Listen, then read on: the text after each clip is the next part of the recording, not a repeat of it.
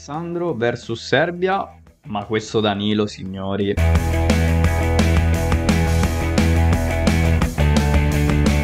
Ciao amici di Passione Bianconera, bentornati all'interno di questo nuovo video. Oggi parleremo della partita che si è disputata ieri tra Brasile e Serbia, vinta 2-0 dal Brasile.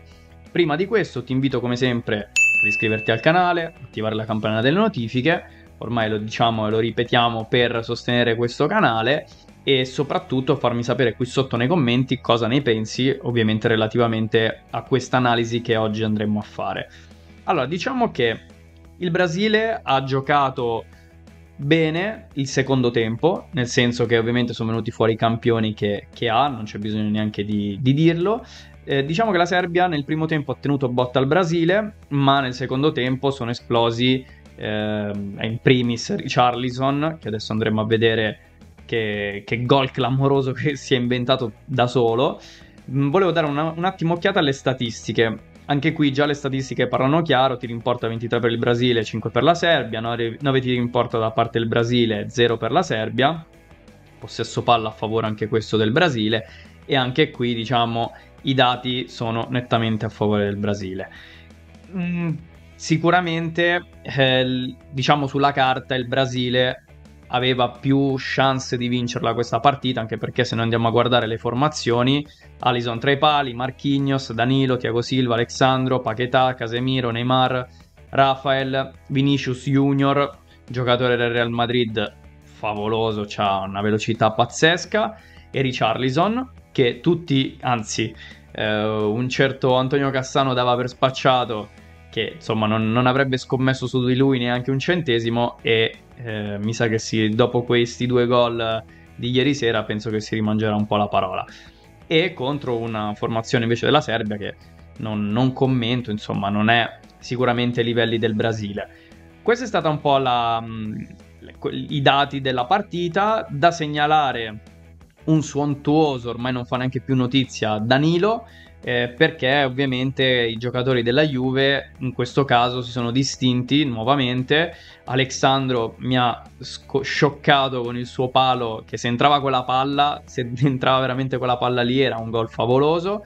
E Danilo, Danilo ha fatto veramente una gran partita, di... cioè, si vede che ormai è proprio leader cioè proprio un leader non solo carismatico, magari sicuramente anche all'interno dello spogliatoio, ma proprio un leader sul campo, cioè si sente proprio la presenza e la tranquillità che, che mette un po' anche ai compagni. Neymar eh, si è infortunato, speriamo anche per il, il bello del, del calcio di rivederlo presto, penso lo rivedremo ancora in campo, anche se in realtà l'entità dell'infortunio non, ancora, non è ancora ben nota. Chi potrà vincere questo, questo mondiale? Ma allora, ehm, secondo me fondamentalmente ho fatto uno short, tra l'altro se, eh, se non l'hai già visto vai a vederlo, di quello che è secondo me un po' il pronostico di chi arriverà in fondo. Ho fatto una... sono partito dalla semifinale per arrivare poi alla finale. In semifinale fondamentalmente secondo me quattro squadre se la possono giocare. Brasile, ehm, io ultimamente voterei Brasile, Francia, Inghilterra, che secondo me è un'ottima squadra, e poi lì Spagna barra Argentina se la giocano, secondo me. Però in finale, secondo me, arriverà Brasile e Francia. Brasile perché ha dei giocatori formidabili, perché possono cambiare veramente la partita dall'oggi al domani, da, da un momento all'altro, e, e quindi questo sicuramente è una, una, una, freccia che spezzo a favore del Brasile. Per quanto riguarda invece la Francia, secondo me la Francia è ancora più in vantaggio rispetto al Brasile perché mh, è più squadra. Sì, è vero, anche la Francia ha i suoi campioni, i suoi individuali giocatori, per esempio uno su tutti Mbappé, però è più squadra, ci si vede proprio anche quando gioca, è molto più è molto lì più sul pezzo, ecco.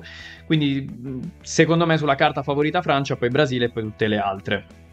Questo è il mio pronostico, ti invito ovviamente sempre a, a farmi sapere anche qui sotto nei commenti cosa, cosa, ne pensi, ma quello che principalmente volevo segnalare oggi era proprio la prestazione dei nostri due Juventini, Alexandro veramente gol che se riusciva era un gran gol e Danilo formidabile. Noi per questo video è tutto, ci aggiorniamo poi magari come sempre nei, nei prossimi video per tenervi aggiornati su altre notizie e ci aggiorniamo ovviamente ad un prossimo video. Ciao e a presto!